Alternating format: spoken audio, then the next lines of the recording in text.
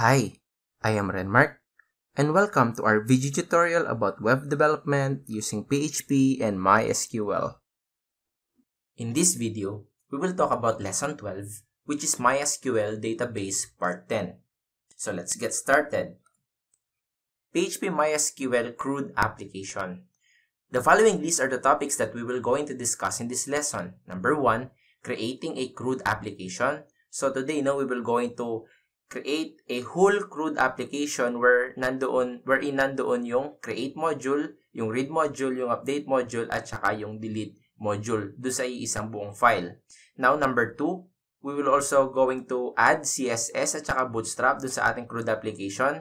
And next is, we will going to use yung tinatawag natin mga Bootstrap dashboard para mas maging decente yung pagkakagawa ng ating mga PHP applications. And lastly, tuturuan ko kayo kung paano gamitin yung tinatawag nating templating technique dun sa PHP. Now, without further ado, we will going to discuss how to implement a MySQL or PHP MySQL CRUD application. So first things first, I'm gonna open my Sublime Text and then also my Laragon. No? Yung Laragon ko, start ko na. Pagkatapos, bubuksan ko na yung folder kung saan ko gagawin yung ating test and that would be here. Papangalanan natin siyang crude demo. At sa loob ng crude demo, dito natin gagawin yung ating project. Next, bubuksan ko na rin yung aking PHP may admin, including yung ating actual program. So, eh, mamaya na pala yan. Now, inside this crude demo, no, I'm gonna create a new file. And then yung file na yan, syempre papangalanan natin siyang index.php. Okay? Now, Gawin lang natin yung boilerplate and then save. Pagkatapos, ang next step na gusto kong mangyari is like this. Bubuksan ko yung browser at i-load ko muna to para mag-load na. Ita-type ko yung getbootstrap.com. Okay? At alam niyo naman siguro kung ano meron sa getbootstrap.com. Dito sa getbootstrap.com, no, meron tayong mga examples na pwede nating ma-utilize. At isa sa mga examples na yan is yung mga layout na pre- pre-made para sa inyo kagaya ng mga nakikita nyo nandito. At isa sa mga kakailanganin ko today is yung tinatawag nating dashboard. Dashboard yung ginagamit nating term no para doon sa mga ganitong klase ng application.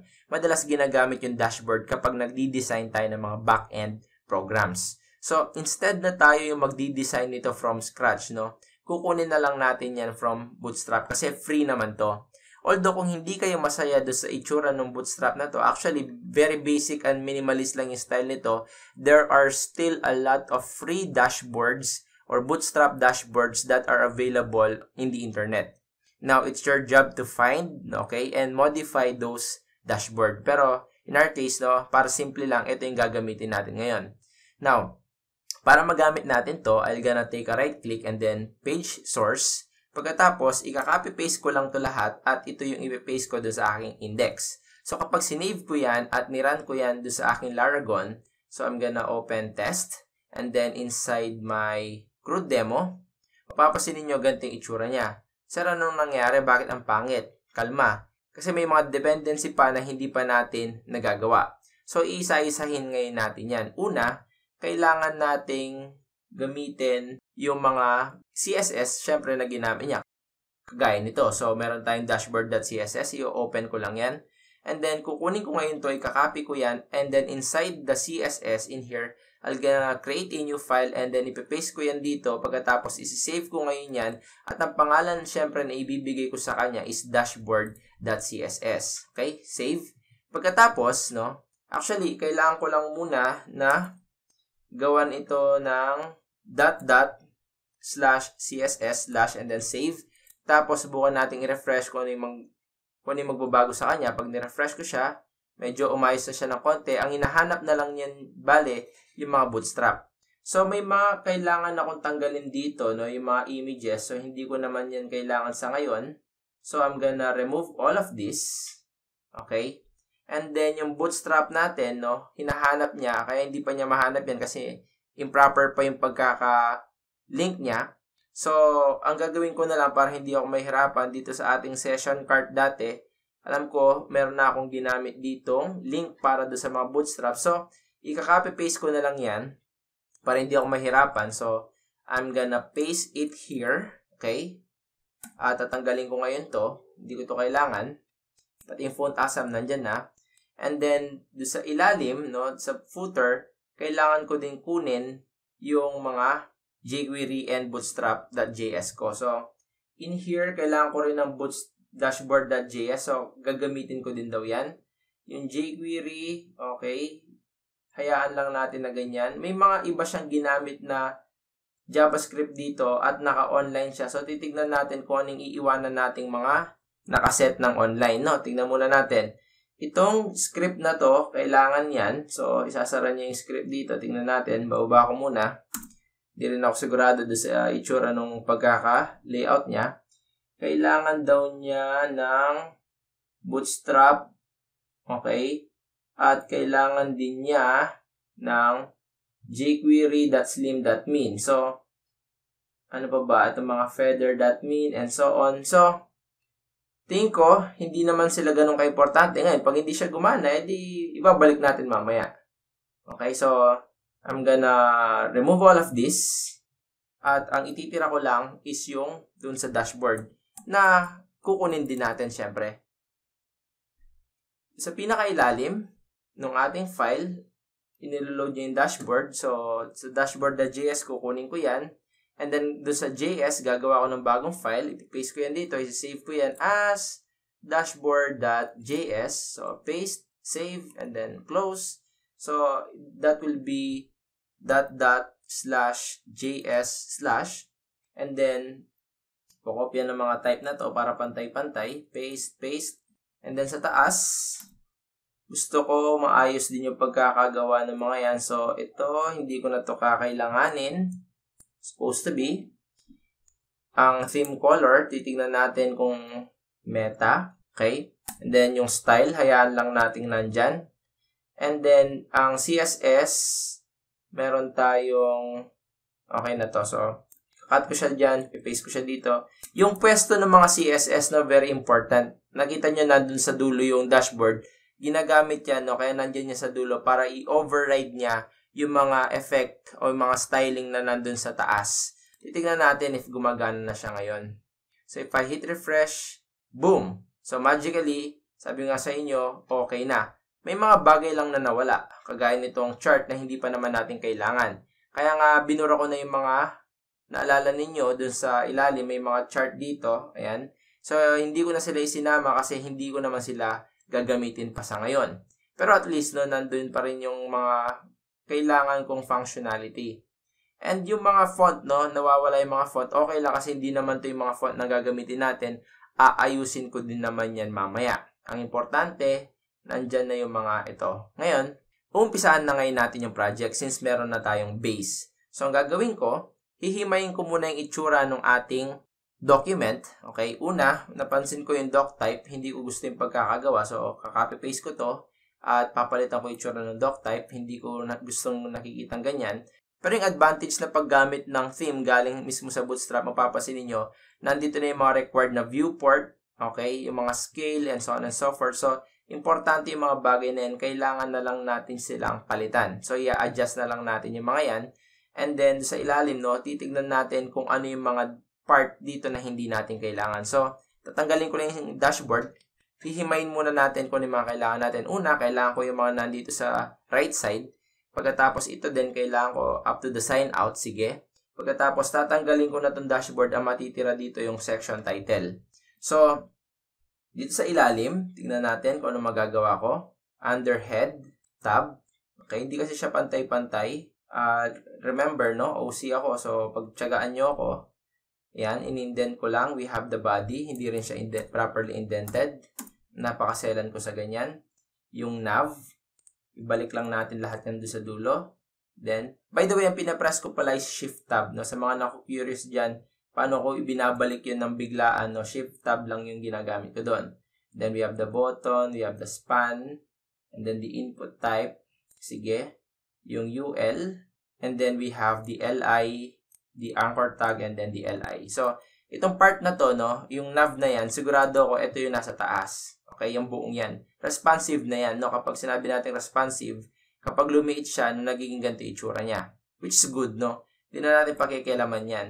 Next is yung div, no? Yung div na to, nakikita ko may dashboard, orders, products, customers, and so on. Sigurado ko ito yung sidebar na gagamitin para do sa link. And para hindi tayo mahirapan, no, tatanggalin natin yung mga hindi natin kailangan dyan. So, per LI naman kasi sila. So, ang ititira ko dito, dashboard and then yung isa, orders. So, ititira ko lang dito yung orders. The rest, no, ay hindi natin kailangan. So, we have mula dun sa LI nito. So, tatanggalin ko na yan. Hindi pa man sila pantay-pantay. Pagkatapos, buburahin ko lahat yan. And then, kagaya kanina, no, pagpapantay-pantayin ko lang yan. So, ibabalik ko yan dito. Lahat. Pagkatapos, ito hindi ko rin gusto yung pagkakalagay. And then, ang gagawin na lang natin, highlight, tab, tab, tab. Ito, ang dulo nito ay ito. Ang kagandahan sa Sublime na makikita mo kung saan yung dulo niya kasi i-highlight niya yan. So, indent. Itong LI. Ito yung dulo niya. So, tab, pagkatapos tab, and then ang span, pagkatapos tab. Okay? Next, ganun lang din gagawin natin dito. We have this, then tab, tab, tab, tab, then tab, tab. So, save. Pagka tinignan natin yan, dalawa na lang dapat yung matitira, which is good. Next, uh, actually, may konting mistake kasi dito yung business span. Ang gagawin natin, gagamitin natin dito will be yung font icon. So, I'm just going to change this as I. And then, imbis na ganito yung makikita natin, we will going to use class and then FA, FA hyphen dashboard. Alam ko meron ganitong klaseng class. Refresh. Mm, home. Save. Refresh. Alam ko meron dashboard eh. Dashboard. Save. Refresh. Pagka hindi ko makita, punta tayo sa font awesome. Okay. And then, check lang natin kung ano. Pero, nakalimutan ko kasi ako ng specific. By the way, since tapos na tayo sa mga hindi ko na kailangan yung sasara ko na para hindi sila nakaka-confuse. And then, itong persons, itong orders, papalitan ko to ng persons. Kasi yun naman yung gagamitin natin. So, italic. And then, papalitan ko to ng class, FAFA hyphen users. So, save. Ito sigurado ako dyan eh. Pero yung doon sa dashboard, nakalimutan ko kung ano yung pangalan nung icon na ginagamit para doon. Ah, ito. Ito yung kailangan ko. It's tachometer alt. So, copy. And then, paste, save. And then, we have to take a refresh. Boom. So, ito ngayon yung ating ginawa. Ngayon, yung dashboard node, kaya siya tinawag ng dashboard, dito ka magle-layout ng mga items na dapat urgently makita kapag nag-login ka sa backend. Okay, kagaya ng mga status, kung may bagong message, kung may bagong email, kung meron ba nangyaring problema sa system, kailangan ba mag-backup, and so on and so forth. Madalas mga notifications yung inilalagay natin dyan. So, bali, ang mangyayari, no, dito sa dashboard, dito yung magiging blank natin. Iba-blanko ko lang yan kasi wala pa naman tayong ilalagay dyan. Okay? So, ang gagawin ko, itutuloy ko lang muna. Uh, may mga part dito, gaya nung sa dashboard, tatanggalin ko itong mga to, hindi ko yan kailangan. So, we have this dashboard, div, yung this week and so on and so forth, hindi natin yan kailangan. So, buburahin natin to lahat. And then, save, refresh. Ayan, ayos. So, ang gagawin ko lang dito, pagpapantay-pantayin ko lang yan. No? Alam niyo naman, napaka-arte ko sa ganyan. So, ayan, okay na yan. So, yung part ng chart, hindi yung kailangan. So, di-delete ko yan. Ang matitira dito, yan, yung section title. Yung section title, kung maalala ninyo, ito yung para dun sa table at gagamitin ko yan mamaya. I-reuse ko to para dun sa persons. So, kung i-reuse ko to, i-cut ko na yung part na yan, no? Kasi kakailanganin ko yan mamaya. Hanggang dito dun sa div, no? Pagkatapos, i-cut ko na yan. Okay? Tingnan natin kung walang nawala. Yes, wala. At ipapaste ko yan dun sa kabilang file. Temporarily. Basta't ang goal muna natin ngayon, no, is makuha yung tamang template. So, pag sinave ko yan, malinis na dapat yung dashboard natin. Wala nang pakalat-kalat dyan. Okay? And then, in here, closing div. Tingnan natin kung saan yung closing div na yan. Ang closing div na yan ay para dun sa row, class row. So, ibig sabihin, kailangan ito naka-indent. Okay? So, div class row, div class row, main, okay? Nav, sige, wala problema. And then, meron pa akong isang div, okay? Yung sa container. So, indent ulit to. So, closing ng div na yon Ito ay closing ng div na yon So, indent ko to. And indent ko ulit to. Div, div, and then nasara naman yung nav. So, in here, body. So, ang body, dapat ay isasara ko dito. Ayun, may sarado pala siya. Hindi ko nakita. So, refresh. Ngayon, ito yung sinasabi ko sa inyong templating kanina. Hindi naman kasi pwede na sa bawat page na gagawin natin, no, paulit-ulit natin kinaka-copy paste yung buong file na to. Okay? Hindi ba pwede no na sa kada pupunta ka sa iba't ibang page, no, yung part na to, yung buong part na yan, no, nakaset up na as a template. So, if ganun ang balak natin gawin, then we will going to template this structure. Paano? Very simple, no? In PHP po pwedeng gawin yung ganito. Una, sa crude demo, no, gagawa ko ng bagong file at papangalanan ko tong file na to as header.php. And then dito sa header, lahat lang ng part na may kinalaman sa heading, yun yung kukunin natin. Siguro, pwede na nating isama do sa header yung navigation bar. So, ang gagawin natin, pwede kong i-copy yung buong doc type hanggang sa makarating ako dito sa sign out at pwede ko tong i-cut yung buong part na yan at ilalagay ko yan dun sa header. So, ang gagawin ko ngayon, isi-save ko ngayon to, okay? Pag sinave ko yan, at bumalik din ako, sinave ko dito, pag ni-refresh ko yan, magugulo na yan. Okay, sira na yan. Pero, remember, kung nasa PHP tayo, pwede tayong gumamit ng ganitong klaseng function, yung tinatawag nga nating require once. So, pag ni-require natin yung header.php, ang logic nito, lahat ng laman na nandito sa header, para mong kinapi at pinaste do sa kung saan nakapwesto yung part na yon. So, ibig sabihin, kapag ni-refresh ko yan, babalik yan sa dati. Naintindihan. Ngayon, sa bawat file na gagawin ko, hindi ko na kailangan ulit-ulitin gawin yung part na to kasi kailangan ko na lang siyang tawagin ng isang beses. Okay? Ganun lang siya kasimple. Ngayon, ang susunod is, itatanggalin ko naman yung part nito, which is ito yung para dun sa footer. So, napansin ko pala, hindi kulang yung pagkakakopy ko, hindi sumama yung navigation, no? Kasi, napansin ko ito, ito nga pala yung navigation bar. Di bale, uh, aayusin na lang natin. So, ito yung header. Sige, walang problema. Ang header is strictly ito. Gagawa na lang tayo ng bagong file. Take right click new and then papangalan natin navigation. So, sa navigation, no, in, inside the index, tatanggalin ko yung buong part ng nav, ikakat ko to at ipipaste ko yan dito at isi-save ko to as nav.php and then save. And then, i-indent ko lang to para pantay-pantay. Hayaan, ako inahayaan ko yung indentation niya, no, para kapag ka ni-require ko siya, properly indented pa rin sila. So, I will going to require once, syempre yung nav.php. Okay, I can do that. So, if I hit save, hit refresh, nothing happens, that's good. Next, itong part na to, that will be the footer. So, again, I'll go into create a new file. And then from this part, tatanggalin ko lahat yan at ipipaste ko sila dito. Indent yon save at papangalanan ko tong footer.php and then if I hit save, then pagbalik mo dito, kakopy-paste ko na lang yan dahil napakasipag kong bata. I-paste ko yan dito and then papalitan ko to ng footer.php. And yes, eto na yon.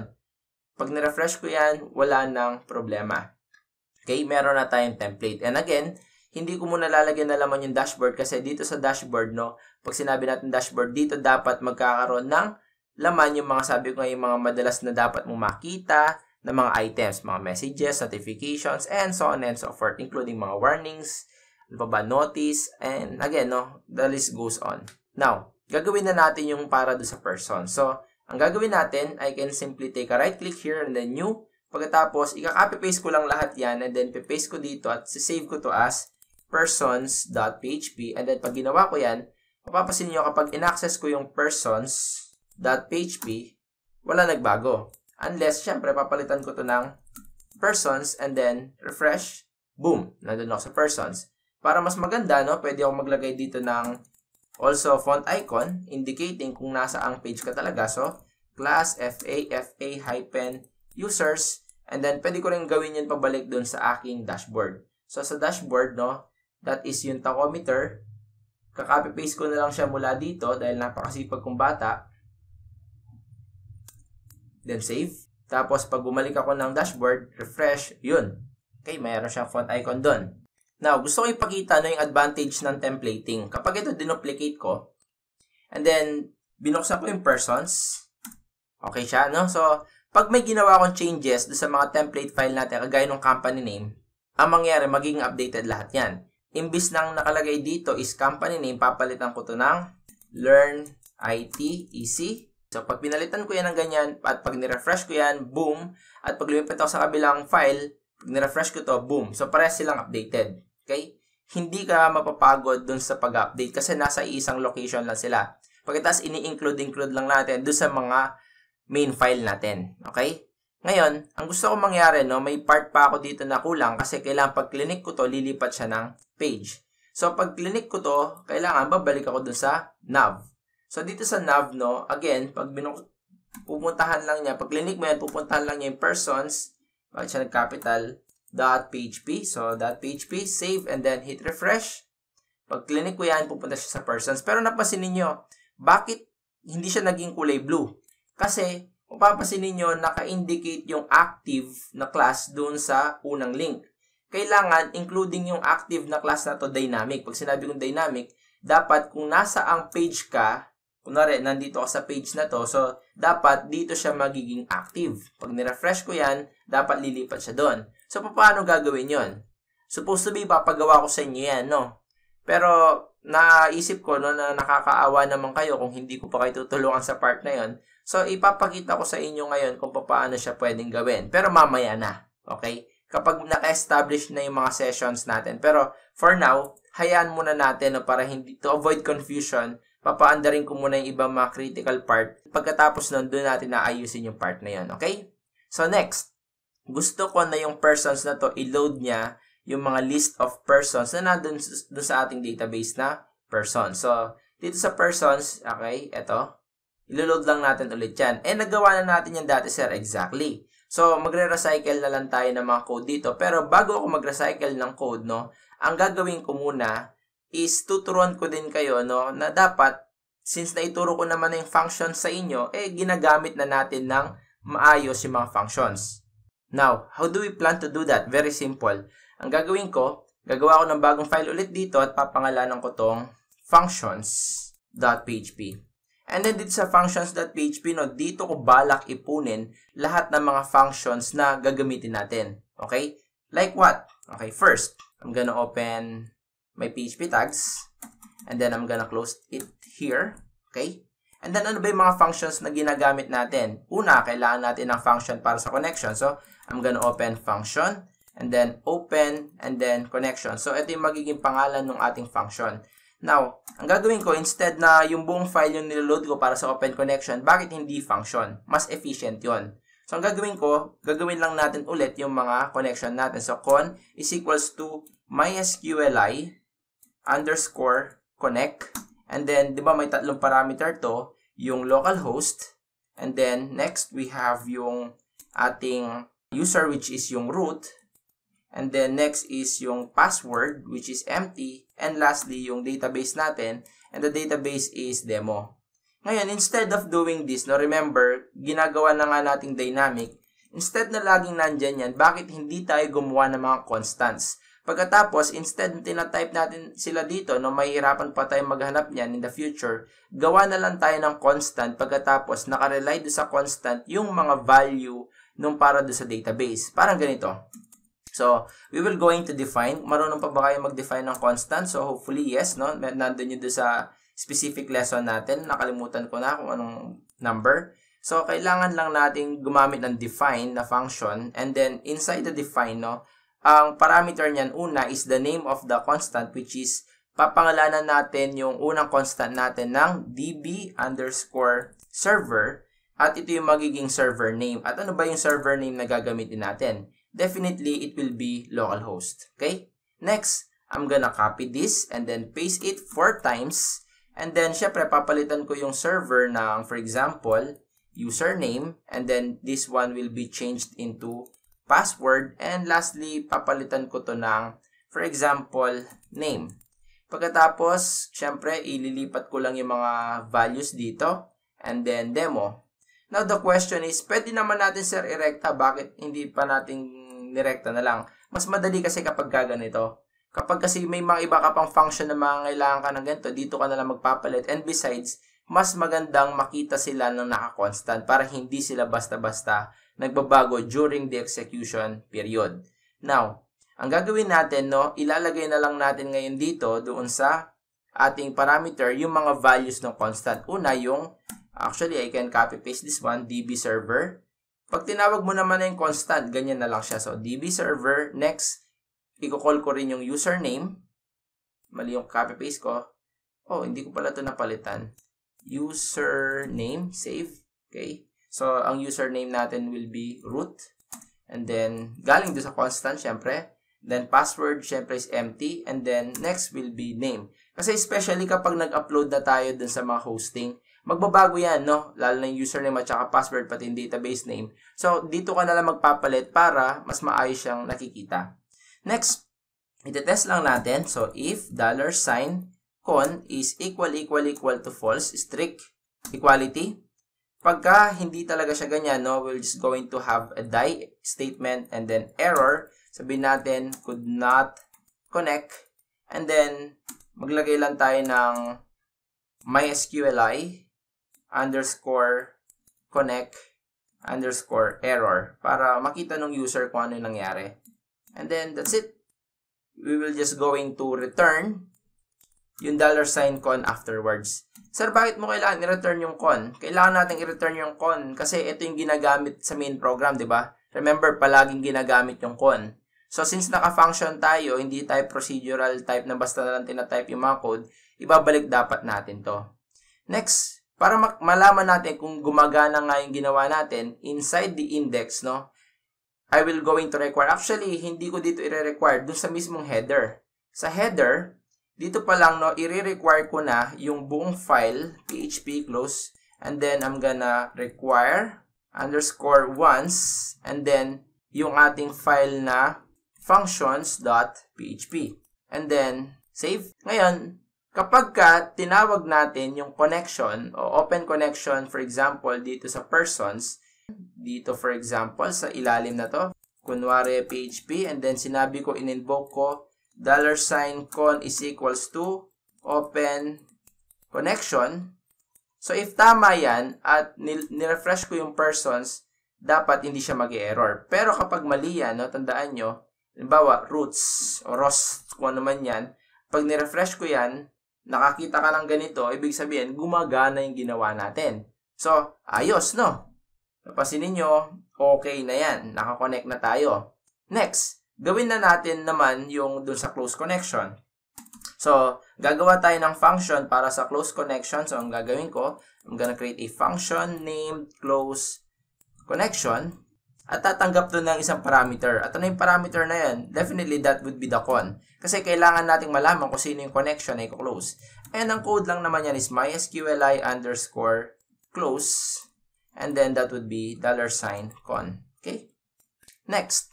Maliban dyan, no, ang susunod nating step ay siguro i-ready na rin natin, no, 'di ba mag-select query tayo? So kung magse-select query tayo, gagawa ko ng ganitong function.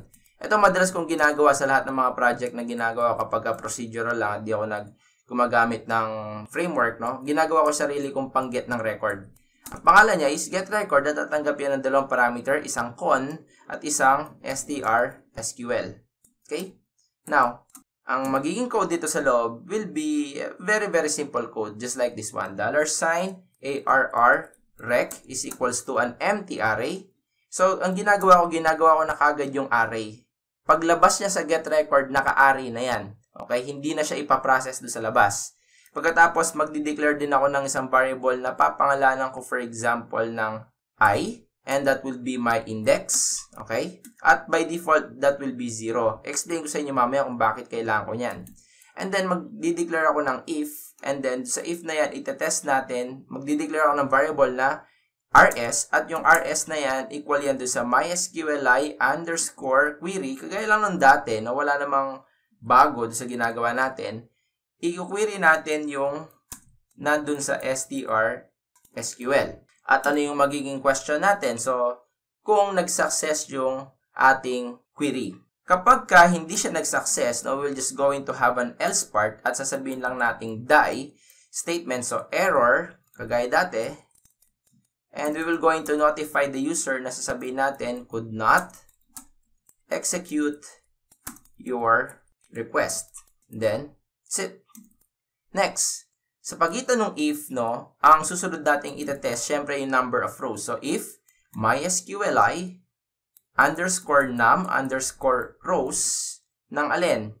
Syempre, nung record set, so that R, uh, nung rs is greater than 0. Ganito yung code natin dati, di ba? Ngayon, yung, yung code na ginawa ko, yung in-improve kong klase ng function, hindi siya basta-basta ganito. Magkakaroon ako ng unang condition and the, the first condition will be equal to 1. Saan ko gagamitin tong if equal to 1? Gagamitin ko to kapag, uh, for example, naalala nyo, mer merong instances na kapag nag-where tayo, kunwari where id is equals to 1, at isang record lang din yung sumasama. So, kung isang record lang yung sasama, no, ibig sabihin, hindi siya galing dun sa bulk select. Isang record lang din yung kakailanganin ko. So, yun yung criteria para doon. Malalaman nyo mamaya kung para saan yan. So, rec is equals to mysqli underscore fetch underscore array and then i-fetch natin yung laman ng rs. At napansin niyo no, sa mga nagtataka bakit hindi siya nakapasok sa while. Exactly. Hindi natin kailangan mag-while kapag ka isa lang yung nakita niyang row kasi isang record lang yan. Pagkatapos, gamit ang for each, no, ilulup ko na yung laman nung record ko. Remember, array yan. So, ilulup ko na yan at ipapasok ko na lahat ng code ko dun sa ginawa kong array variable na rec, arr rec, at ang gagawin natin, no, dun sa loob ng key, habang umiikot yung for each, ilalagay lang natin o isasalin lang natin yung value ng ating result. Kagaya niyan. That's it. Next, Maglalagay naman ako dito ng panibagong else if. At do sa else if natin, ang susunod naman na tanong, ika-copy paste ko na lang to para hindi ako mahirapan. Pero this time, ang question will be, is greater than 1. So, kung greater than 1 yan, ibig sabihin, 2 pataas, okay? What's the step? Gagamit na ako ngayon ng while. Ibig sabihin, dalawa na siya pataas. So, while what? Kagaya lang nung ginawa natin dati, kukunin ko na lang to para hindi ako mahirapan.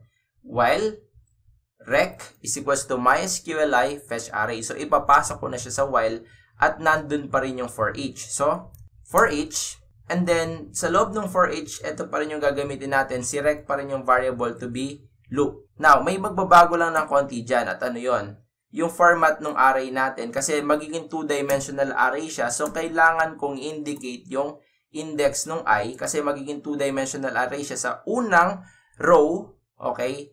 Pagkatapos, next followed by kung anong column yon and then isi-shoot natin syempre yung value natin. Okay? Next, increment ko yung i kasi kailangan nitong madagdagan ng value habang umiikot yung while. Okay? And yes, I guess ito na lahat yon. Doon sa else naman na pag blanco siya, hindi ko na yun kailangan lagyan.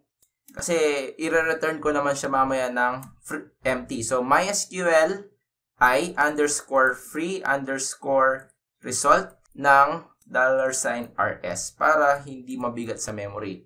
So, again, no, hindi ko to kailangan lagyan ng else. Kasi, remember, this is a function, so meron tayo ditong return.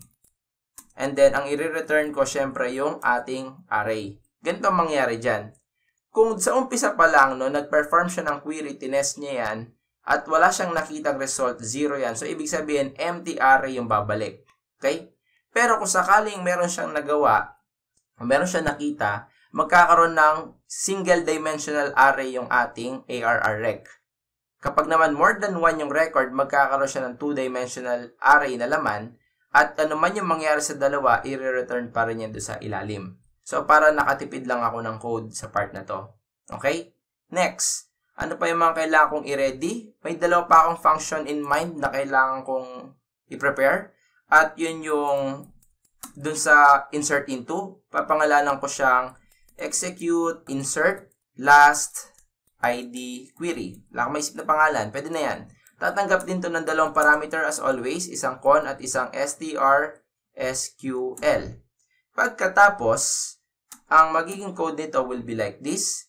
Very simple, no? Maglalagay ako dito ang if, and then, mysqli underscore query, and then dollar sign con, and then dollar sign str SQL. Remember, pare-pares lang naman sila ng format, okay? Ang pinagkaiba lang nila kapag ang ginagawa mo is select, okay? Kagaya nito, pagkatapos mo mag-perform ng MySQLi query, kailangan mo saluhin yung result. Kaya merong part doon ng assignment. Ngayon dito, walang assignment kasi kailangan mo lang itanong kung successful yung pagkaka-perform ng query. If that's a yes, then you'll going to return yung, naalala nyo pa sana to, yung MySQLi underscore insert underscore ID. So, hindi ko alam kung gagamitin natin to ngayon no, sa ginagawa natin. Pero, just in case na kakailanganin natin yan, at least, pagkatapos niya mag-perform ng insert, ready na kagad, no, ibabalik kagad ng function na to yung ID. Else, ibig sabihin, kapag hindi nag-successful yung pag insert into, i-return lang natin 0. Bakit 0? Ibig sabihin, pag wala siyang na, hindi naman kasi pwede magkaroon ka ng primary key na 0. So, ibig sabihin, kung 0 yung naging return, hindi naging successful yung insert into natin. Bahala na yung programmer nun na mag-adjust depende do sa kung ano yung mga naging return niya o na-receive niyang value. And lastly, no, meron akong isang function dito na ituturo sa inyo. Ito yung pang anti-XSS natin at anti-SQL injection. Okay? Ire-ready ko na rin para hindi na ako babalik mamaya dito. At ang pangalan ng function na yun is sanitize since usong-usong COVID ngayon, no, hindi lang naman makamay natin kailangan natin i-sanitize, including yung input. So, ganun pa rin, kailangan ko pa rin ng con at kailangan ko ng exact input type. Next, i-return ko, gawin na lang nating one line kasi maiksi naman yan. Una, yung pinakalabas, kung naalala nyo yung mysqli underscore real underscore escape underscore string, if you still remember that, yung ginagamit natin para hindi siya makapag-perform ng SQL injection. So, ang nasa loob niyan, syempre, kailangan natin yung con and then second parameter yung input. Bago niya i-process yung input, ang next step is i-strip ko muna yung mga slashes ng input.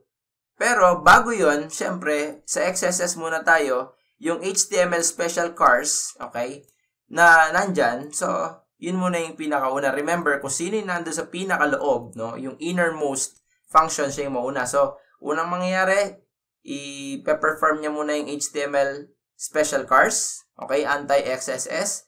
Next, i-strip niya muna yung mga slashes. And then, ang pinakahuli, i-perform niya yung MySQL real escape string.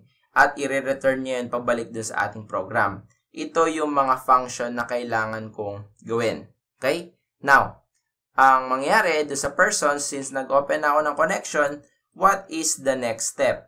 Ang next step dun sa persons na ginagawa natin, syempre, is pagkatapos nating makapag-open, kailangan nating i-close yung connection. The question is how. So, simple lang, close connection, pero tandaan nyo, yung close connection natin, nangangailangan ng argument at ang argument na require natin is con. So, ganyan lang kasimple.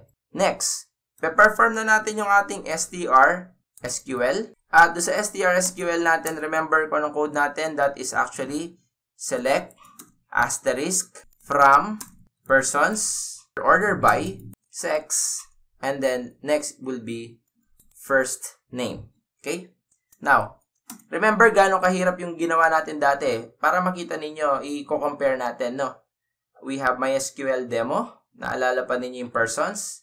Isara natin yung iba, no? Para hindi tayo magulo. Tanggalin ko muna yung index. Yung functions, hayaan lang muna natin footer, header, yung nav, yung untitled, wag no, nandiyan yung table structure para hindi ako magulo mamaya. So, dun sa ating MySQL demo, naalala nyo, pagkatapos nating mag-SQL, tinetest natin, dun tayo gumagawa ng if, tapos dun tayo nag-num rows, dun tayo nag-fetch. Ngayon, hindi na ganon.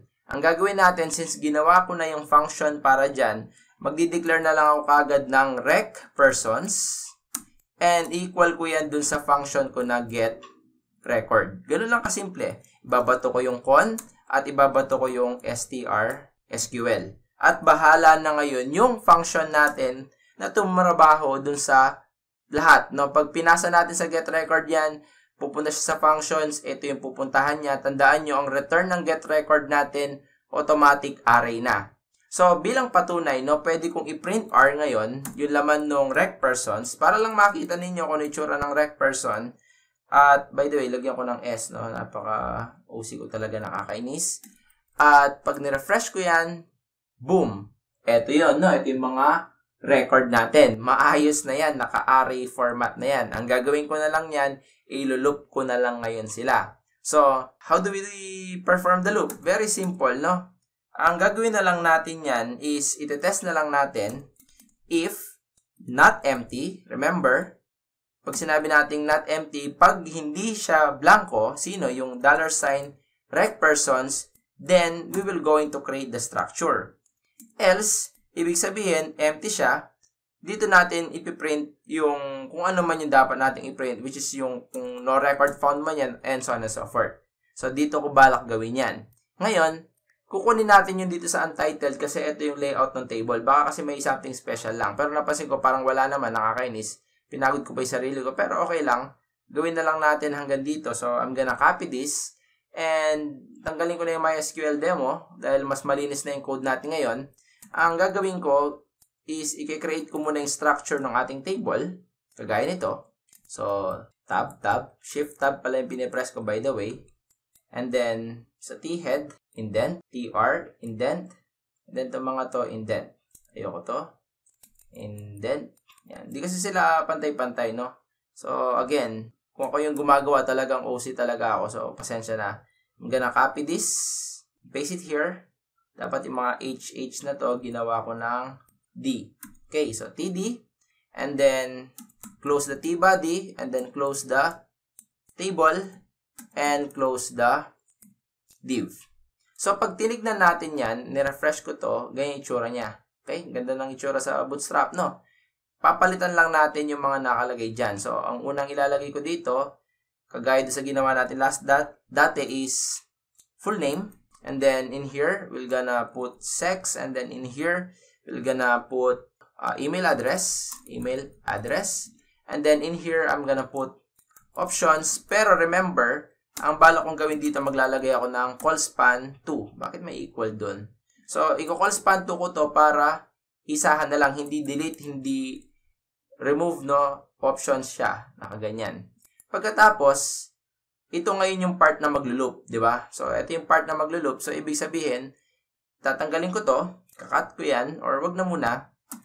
Ito na lang yung kakat natin, yung buong PHP part na to. So, I'm gonna cut this. Okay? And I'm gonna paste it somewhere here. Okay? And then indent. Now, remember, ito yung part na maglo-loop tayo. So, pag nag-loop ngayon tayo dito, ang gagawin ko na lang, maglalagay ako dito ng for each at ilulup natin yung variable nating rec persons. So, anong gusto nating mangyari habang naglo-loop yung persons? Madali lang, no? Kukunin natin lahat to, kagaya lang nung ginawa natin last time. And then, we will just going to paste it here. And then, echo. Tapos, ilan ba yung TD ko dito? 1, 2, 3, 4, 5, 5. So, 1, 2, 3, 4, 5. Sakto lang. So, I'm gonna copy the echo. It's like this. And syempre, yung closing tag. And then, that's it. So, pag ni-refresh ko ngayon to, wala, ganyan lang yung makikita ninyo kasi wala pa naman akong pinapalitan. Ngayon, instead of ganito yan, so, syempre, yung format natin kagaya ng ginawa natin dati. So, ang ginawa lang naman natin dati dito is definitely value first name and then value last name. So, I'm gonna jump in right there. Boom, save refresh. Tinamad ako mag-type, no? Ang ginawa lang, ang ginawa ko lang dito, no, yung value, di ba, yun yung sa rec persons, tinawag ko lang yung index na first name at index na last name. So, next is, ang gagawin natin, syempre, ganun pa rin, same concept, but this time, ang tatawagin kong index ng variable natin na value would be yung sex. So, that would be value, and then sex, and then that's it. Save. Again, if I hit refresh, boom, it's okay. It's all right. So, again, I'm gonna copy this and paste it here. And then, papalitan ko to ng email kasi yun naman yung field na yun. Pag ni-refresh ko yan, then, ayos. So, yung options na lang yung nawawala. Yung sa options, ito yung para dun sa ating update at saka delete. So, para hindi na ako mag-type, no? Pares lang din naman yun do sa last time. Ika-copy-paste ko na lang siya. And eto yon So, nandun pa rin naman sila, yung update at saka yung delete, no? And then, popormahan lang natin ng konti kasi yung dati pangit. Ganyan yung nakikita natin. Kung gusto niyo no, pwede naman natin yan pagandahin. Yung options, by the way, to, pwede ko tong lagyan pala ng class at pwede ko tong i-align o text hyphen center. Save, refresh. Okay. So, do sa options, edit, imbis na ganyan yung button, pagandahin natin, lagyan natin dito ng class. So, class btn hyphen btn hyphen success. Save, refresh. Yes, ito nga yun. So, para mas cute siya tignan, maglagay din tayo ng font icon. At ang font icon ng edit is, ano po, edit, no? So, we have class FA, FA hyphen edit. Save. Refresh.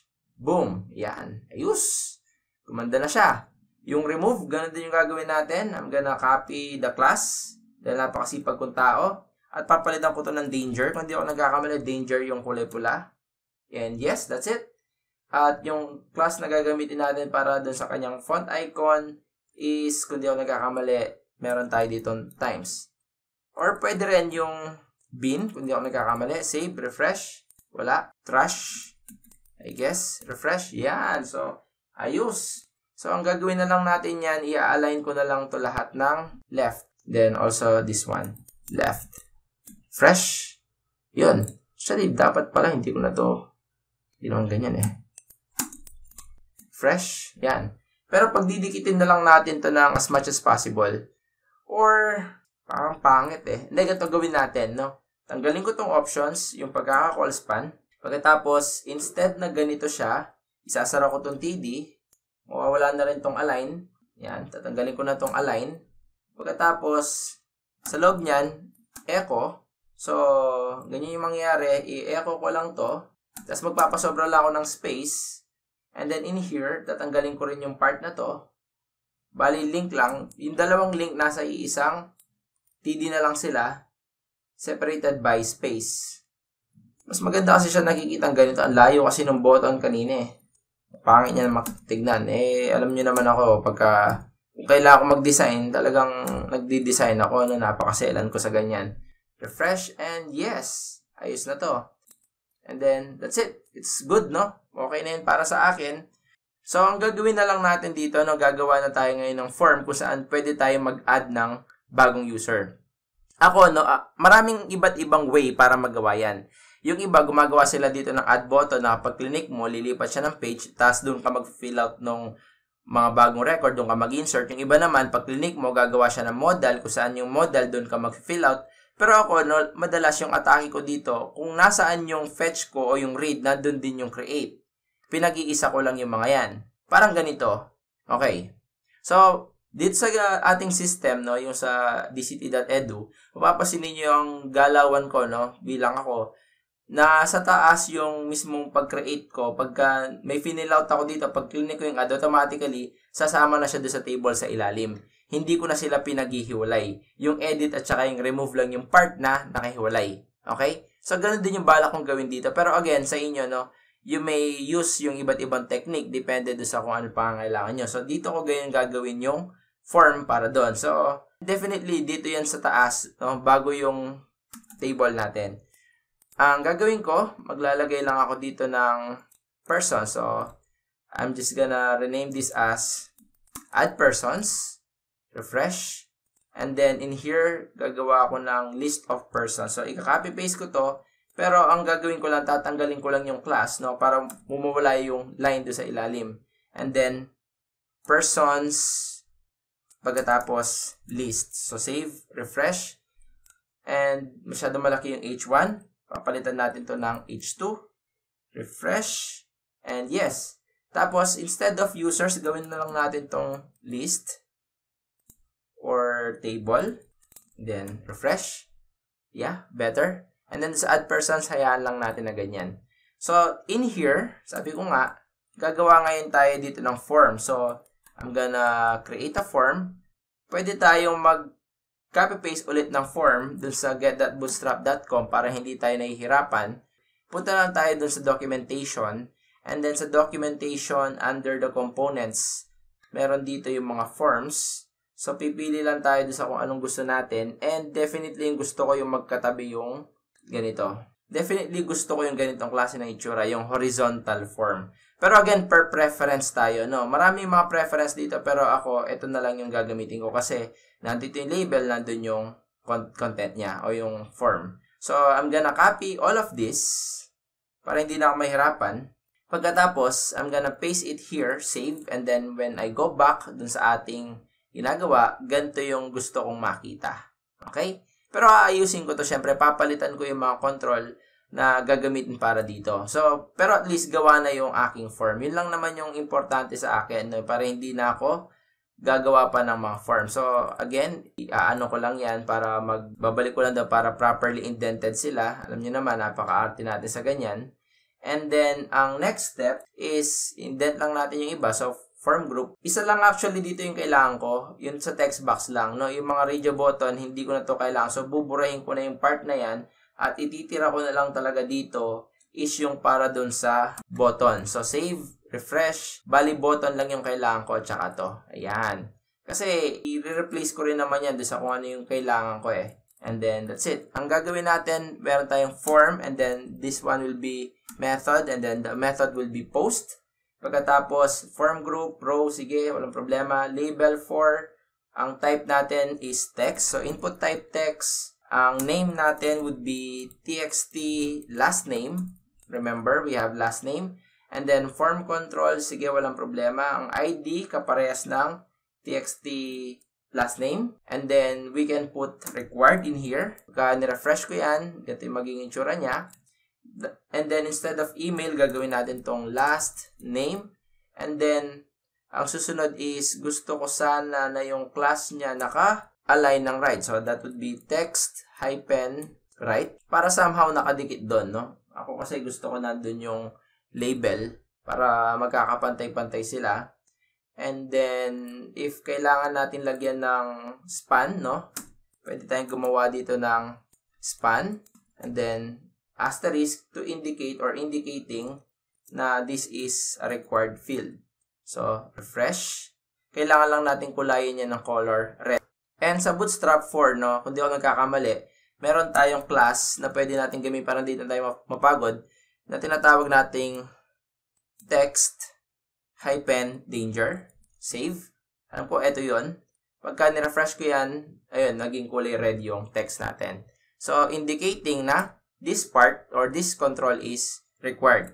So, I will going to copy paste this a lot of times. So, I'm gonna copy, paste it here. And then, yung last name, papalitan ko to ng Control D. Then, sige, lahat ng pwede. Papalitan ko to ng first. And then, next, gagawin ko yung do sa email. Papalitan ko to ng input type email. And then, in here, papalitan ko yan ng email. And then, syempre, in here, papalitan ko to ng email address. Save, refresh. So, okay, very good. Uh, by the way, the last name, this should be auto-focused. So, also, maglalagay ako dito ng auto-focus. Save, refresh. Ayan. Ano pa bang nakalimutan ko? Yung sex, no? Isisingit ko na lang siya dito. So, yung sex, gagawin natin siya in here sa pagitan ng first name and email address. So, I'm gonna copy this once more. And then, instead of input type, madali na yan, no? Ito, gagawin lang natin tong sex. And then, in here, gagawin natin tong DRP sex. Pero wala pa yung control natin. Gagawin ko pa lang. So, ang gagawin ko, gagamit ako dito ng select.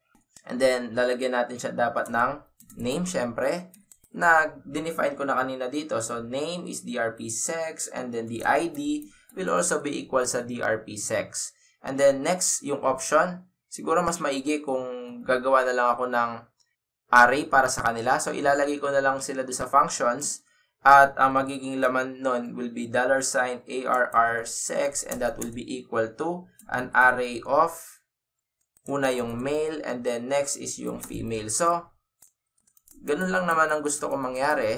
Save. Para pagbalik ko dito, by the way, hindi na kita kailangan, sumara ka na. Ang gagawin natin dito, maglulup lang tayo sa PHP, close PHP.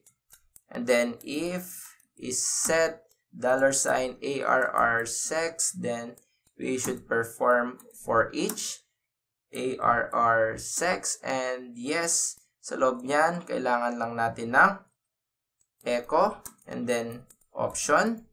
Pagkatapos, sasara lang natin properly yung option and then semicolon. So, sa loob ng option, ipiprint lang natin yung value, syempre, dollar sign value, and then do sa kanyang value mismo is equal siya, syempre, dun sa kung ano yung value ng ating value. Ang gulo ko. No, hindi kasi naming convention ko. Yan, dollar sign value. Magkaiba yan. No? Yung may dollar sign value sa PHP yan. Itong value na to, yung sa HTML yan. So, pag ni-refresh ko yan, meron na akong ganito. Yan. Ngayon, ang gagawin ko na lang ngayon dyan is, syempre, kailangan din natin kunin yung class na to. Ito yung class na form control at yung form control, ididikit ko lang dun sa aking select. Pag ni-refresh ko to, boom, ayos na, ano? Ang gagawin na lang natin, I believe, pwede pa rin naman i-require yung isang select, no? Hindi ako nagkakamali. And then, yes, okay na, no? Ang, ang sign-in na lang, papalitan natin ng add. Tsaka gusto kong gumamit dito ng offset kasi ang pangit tignan pagka wala siyang offset. So, i-offset lang natin yan. Tab. By the way, button type submit. Name, papangalanan ko tong btn add. And then, yes, primary. Lagyan na lang natin ng and then class that would be FA, FA hyphen plus. Okay?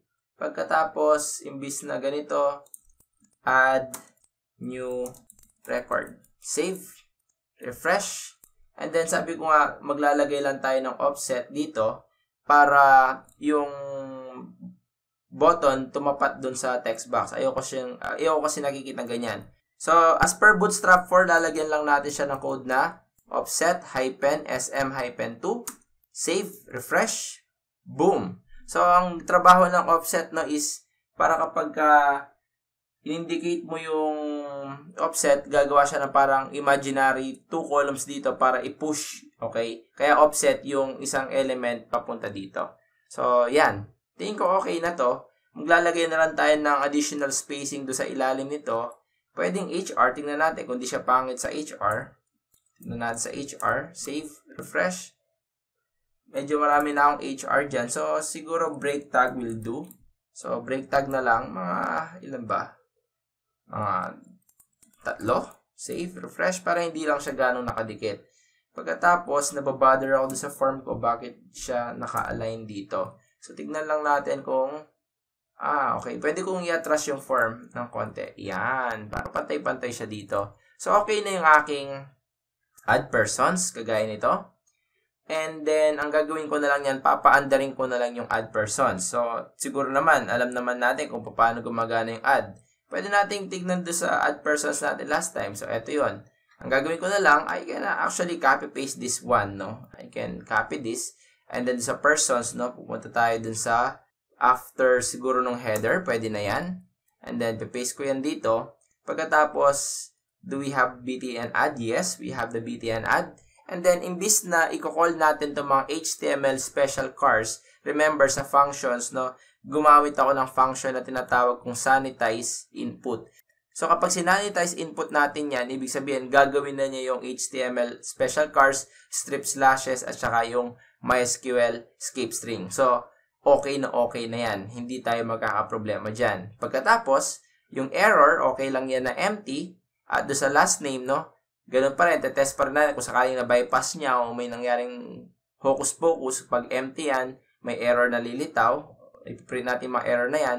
And then lastly, if yung error is empty, then imbis na i-require natin ganito yung open connection, remember, ginawa na natin yung open connection na yan at ganito na yung itsura niya. So, ikakopy ko ngayon to And then, ipipaste ko ngayon siya dito. So, open connection, imbis na ganun siya. And then, yung close na nandito dun sa ilalim. So, copy this one. Ang daming space. Ayoko yan. And then, ipipaste ko yung close connection dito. Ngayon, insert into, hindi yan nagbago. So, ito pa rin yung code niyan.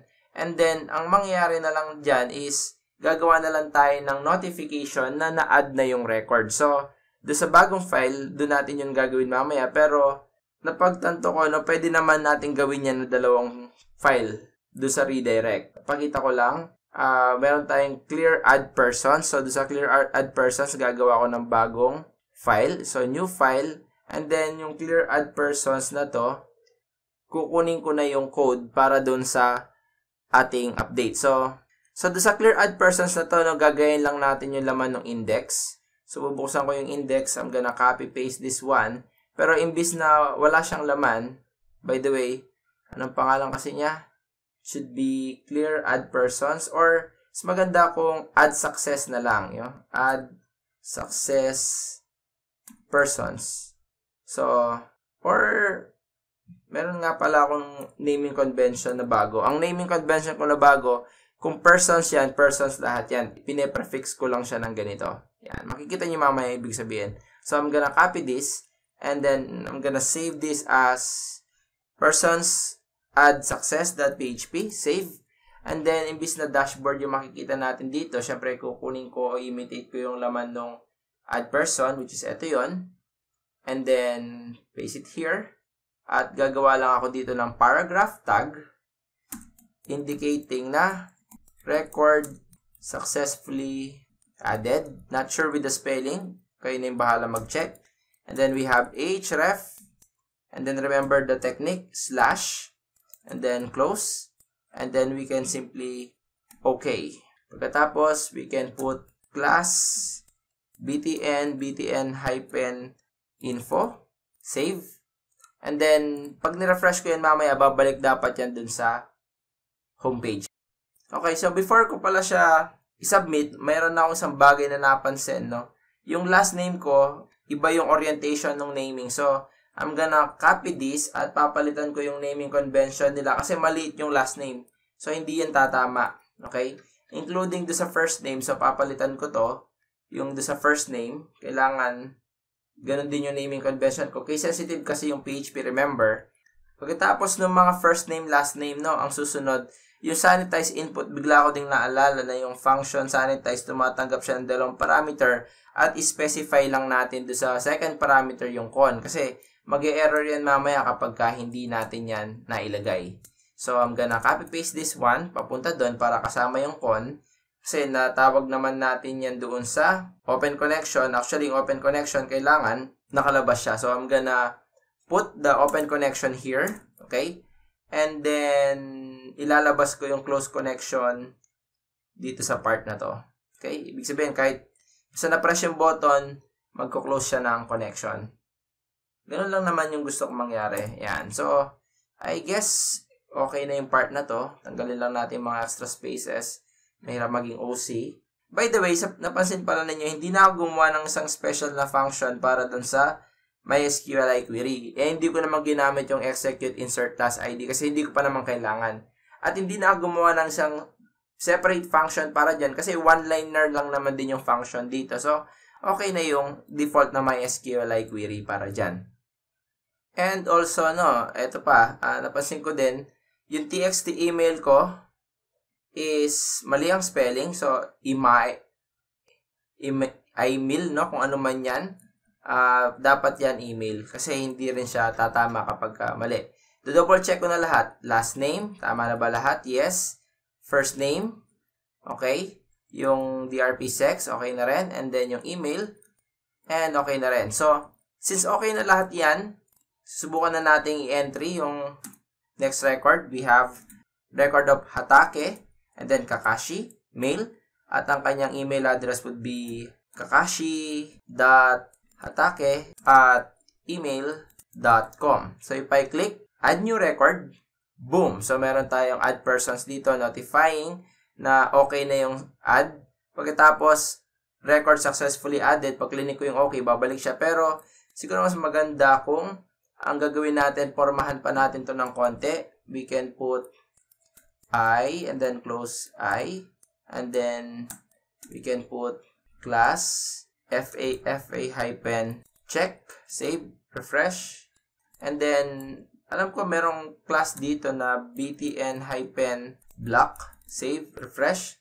So, pag sinabi nating block, kukunin niya yung buong screen para i-occupy niya. Pero, trip, depende sa trip niyo na pero sa akin, okay na to. Ngayon, na, naisip ko pala bigla na parang may problema doon sa aking href. So, instead pala na slash yung gagamitin natin dyan, di, siya, di pala siya kagaya nun dun sa shopping cart. Kailangan ibalik ko lang siya dun sa persons.php.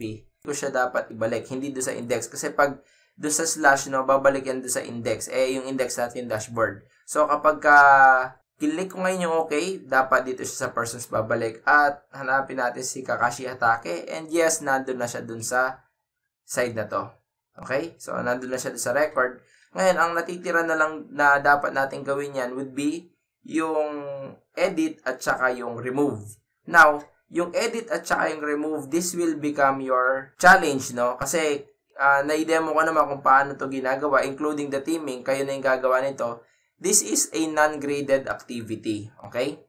Sinabi ko non-graded, hindi ko kayo bibigyan dito ng grade, pero I do suggest na gawin nyo to as practice dahil malapit sa katotohanan na to yung gagawin ninyo para sa inyong finals. So, gagamit pa rin kayo ng teaming, no? Gagamitin nyo pa rin yung teaming na to at gagawa lang kayo na, kagaya lang nung ginawa natin dati yung update. So, pero nakadesign lang nga siya ng konti, pati yung remove. At kung kaya nyong gawin to ng nakamodal, nakapag-clinic mo yung remove, no, may lilitaw na lang dito modal na do you want to remove this record, hindi na siya lilipat ng page, then definitely, that would be better. Ngayon, ang huling kailangan kong ipakita sa inyo is, sabi ko nga, dapat yung persons na to, siya yung nakakulay blue at hindi yung dashboard kasi siya yung active.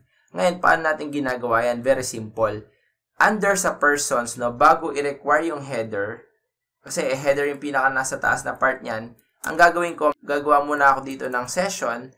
So, I'm gonna use session start and then under here, meron akong session na ang pangalan is current page. So, session at ang pangalan nito will be car underscore page. At ang current page ko no, is gagawin kong persons.